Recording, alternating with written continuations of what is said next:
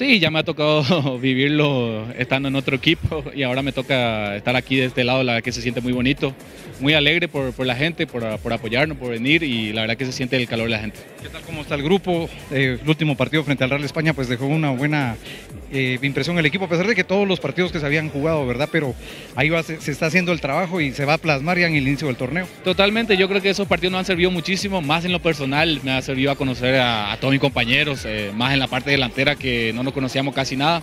Y ahora con los amistosos eso me ha, me ha servido muchísimo en lo personal a conocernos a todos. ¿Cuál es tu impresión hoy en esta presentación acá? Eh, feliz, la verdad, feliz. Eh, se nota lo que es Shela, se nota lo que es la afición, se nota el, el, cariño de la gente y muy contento por estar aquí. Pedro, ¿qué nos puedes decir de tus compañeros? ¿Qué, ¿Cómo te han arropado? ¿Cuál es ese recibimiento? Y ante todo, pues la actitud que se tiene dentro del campo. Me gustó mucho la, la, la jugada esta de la segunda anotación allá frente al Real España, que fue una jugada futbolera y de pues donde participaron todos. Ah, no, mi compañero la verdad me ha recibido muy bien, eh, muy agradecido con ellos por, por eso. Ya, ya conocía a varios antes de venir aquí y bueno, eh, muy agradecido en ese aspecto. Y sí, eh, la verdad a mí también la personal me gustó mucho ese gol, fue, fue muy... Eh, salimos de abajo, se tocó muy bien y yo creo que ese gol es como un representativo de lo que, vamos, lo que vamos a demostrar el torneo. Eso es lo que hay que hacer ya a la hora de los partidos oficiales. Totalmente, yo coincido con eso, así que yo creo que todos estamos muy, muy mentalizados y sabemos lo que tenemos que hacer para lo que va a ser el torneo. Pedro, se ha tocado el tema, eh, pues antes del, del inicio del torneo lo hablábamos con el técnico y les decía de parte propia, ¿verdad? Que por qué no pensar en, en buscar el acumulado de, de, esta temporada para poder clasificar a torneo internacional.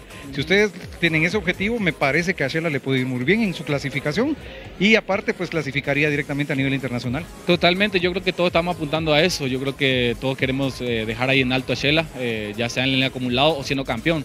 Todos estamos apuntados en eso y eh, todos estamos mentalizados en eso, eso es lo bonito, se siente el camerino que es muy bonito, así que yo creo que todos, todos estamos apuntando a eso. ¿Esta te ves ya en el 11 inicial o hay tarea también para el técnico? Porque la verdad es que hay un buen grupo. Sí hay, tarea, sí hay tarea, sí hay tarea para el técnico, la verdad que él sabe, yo creo que todos estamos trabajando muy bien, hay una competencia muy sana ahí adentro, así que yo creo que los que están un poquito metidos ahí saben lo que es que difícil es eh, armar un equipo ahí en Chela porque todos estamos metiendo muy, metiendo mucho en el entreno, así que así es bonito, la competencia sana siempre es bonito.